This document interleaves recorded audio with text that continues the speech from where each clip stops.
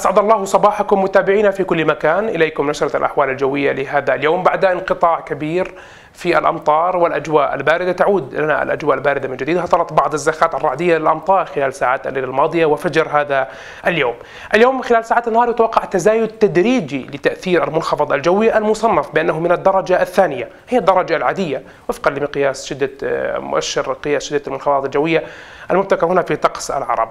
خلال ساعات هذا اليوم يتوقع هطول الأمطار بشكل أساسي في المناطق الشمالية بينما باقي المناطق بما فيها العاصمة عمان. الأجواء تكون بها غائمة جزئيا إلى غائمة وباردة مع نشاط في سرعة الرياح. أما اعتبارا من ساعات ما بعد العصر والمساء يتوقع امتداد هذه الأمطار نحو المناطق الوسطى بما فيها العاصمة عمان ويتحول الطقس مع ساعات هذه الليلة يصبح باردا وغائما مع هطول الأمطار على فترات. أما نهار أما في ساعات النهار نهار هذا اليوم يتوقع بمشيئة الله تعالى أن يكون الطقس بشكل عام غالبا غائم هناك فرصة ضعيفة حقيقة لبعض الزخات المحلية من الأمطار ودرجة الحرارة العظمى 12 درجة مئوية. هناك انخفاض حاد وملموس. على درجات الحرارة بالمقارنة عما كانت عليه درجات الحرارة خلال الأيام الماضية.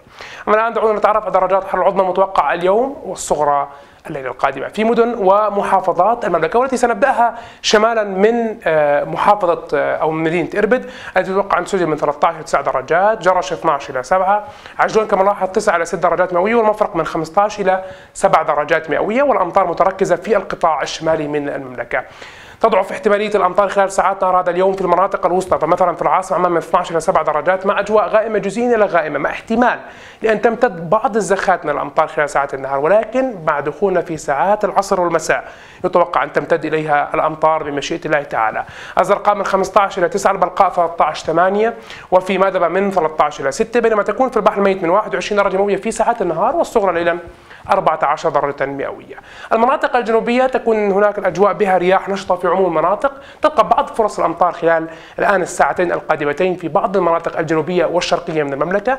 تكون في الكرك 10 إلى 4 درجات الطفيل 11 إلى 5 في الشرام من 9 إلى 5 في معام من 12 إلى 5 أما في خرج العقبة فترتفع العظمى اليوم إلى 20 درجة مئوية في ساعات النهار وتكون الصغرى ليلا حوالي 12 درجة مئوية.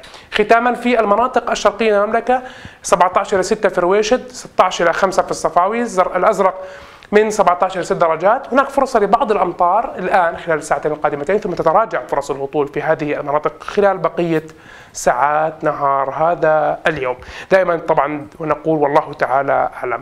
إذا هذا كأن كل ما لدينا بشأن الأحوال الجوية في المملكة لهذا اليوم. أتمنى جميعا لكم نهار سعيد أينما كنتم. دمتم بخير. إلى اللقاء.